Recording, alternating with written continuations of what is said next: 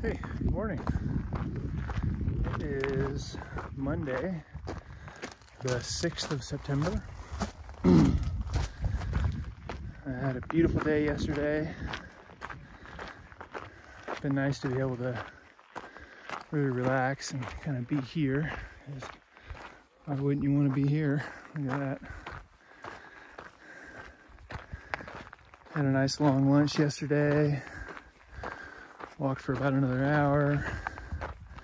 Stopped and took a nap for an hour. Actually put my tent up so I didn't have any bees or flies or anything buzzing me. That was pretty nice. Um, a beautiful mountain goat yesterday. He was up kind of on the zipper above Glacier Pass. Eh, somewhere in there. After Methow. But beautiful. There's grouse right there.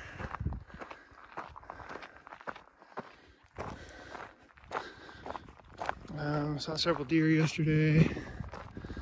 One of them was pretty big. Actually, kind of thought it was an elk at first, but it was a female all by herself. She was just a big girl. Got a little cold last night, hiking anyway. So I thought it was going to be really cold at the campsite, but I woke up in the middle of the night. It was too hot. Take some layers off. But it was pretty windy, so everything had kind of a fine layer of silty dust this morning. It is absolutely stunning up here. I was thinking about a lot about the different, you know, things you experience on the trail. You know, where's your favorite campsite, or what was the best sunset or sunrise, or best lunch spot, or best view, or whatever. It's really hard to narrow them down. There's been so many. It's one of the interesting things about a through hike is you just every day you're seeing so much stuff. And I'm glad I've taken, you know, literally over a thousand pictures. As I can go back through and remember where I went, what I saw, who was there, what happened, all that kind of stuff. But tomorrow, um, we'll hit the border. And then start heading back towards Harts Pass again.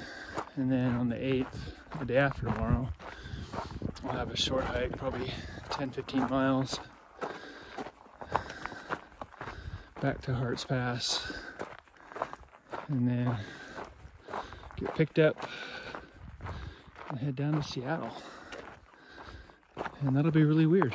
Not to be in Seattle, I love Seattle, but um, to not be to know that you're done with the trail. And I think it's going to take a while to for all that to sink in.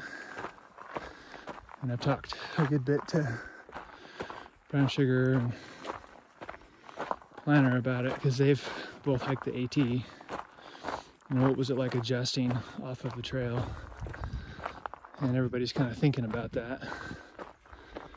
This, this is just an amazing opportunity in life.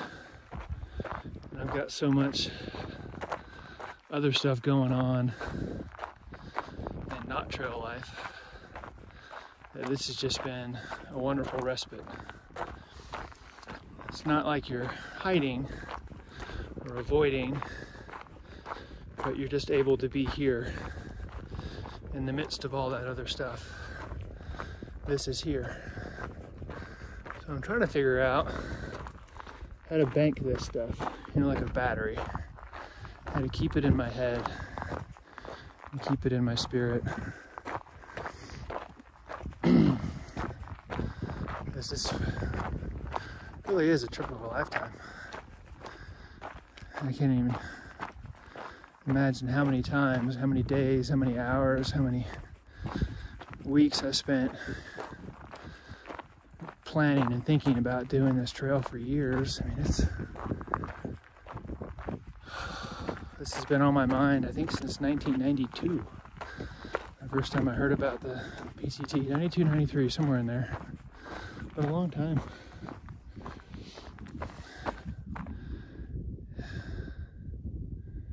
Here I am. I'm almost done.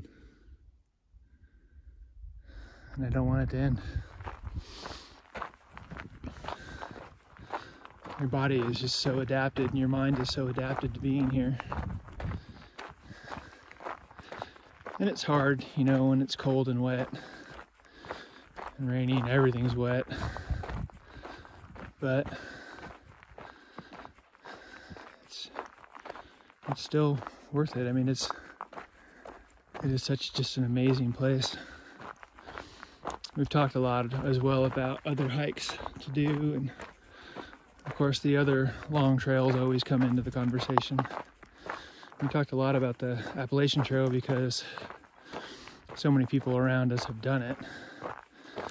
And I've met very few people that have done the CDT or Continental Divide Trail.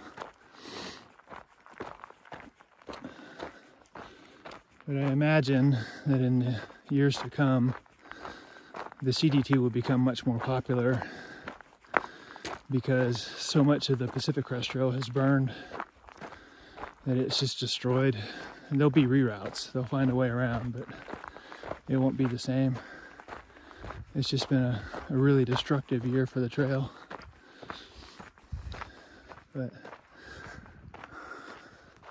when I think about, you know, do I want to do another through hike? Yeah, I do. And they, they say usually that people don't want to at the end of a hike. That, that desire usually comes later. And I'm like, hmm, I wonder if I flew to Maine and started walking south, if I could make it through the AT this year. And that's not going to happen. I'm not even going to try. But yeah, I definitely want to keep doing this. You know, why wouldn't I? My body feels great. I mean, it's you do 2,500 foot climbs like it's nothing. You're just adapted, you know, and you you've got your your systems and your way of doing things, and you know what works for you. And I figured out, you know, I've I learned a lot about fueling, like how to provide nutrition for my body. I mean, so much so that I really kind of want to go back to ultra running. Look at these. That is gorgeous.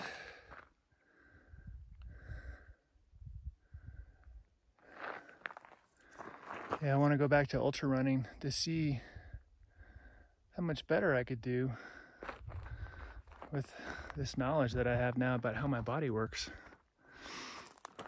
with nutrition. I thought I knew. I didn't. Not like I do now. But I, it's just, yeah. I don't want to go home. I just want to keep doing this. This is home.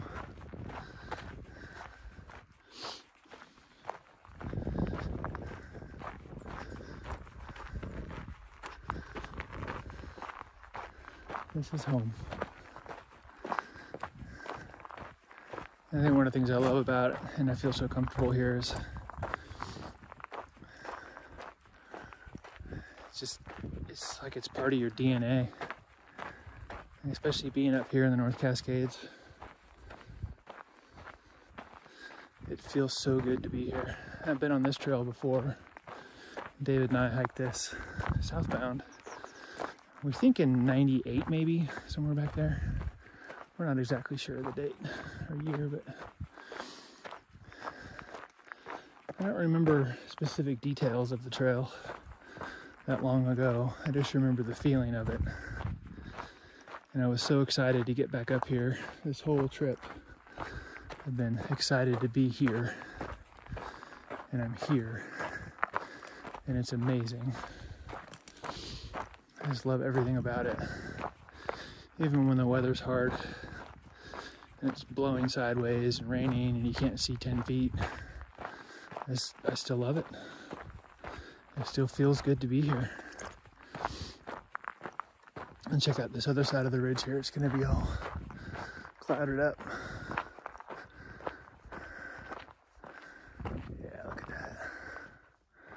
is gorgeous. The lake's down there. Light filtering through.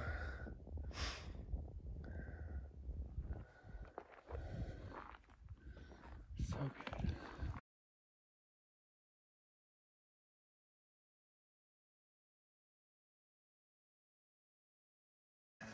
Fine, push up. We gotta find this thing.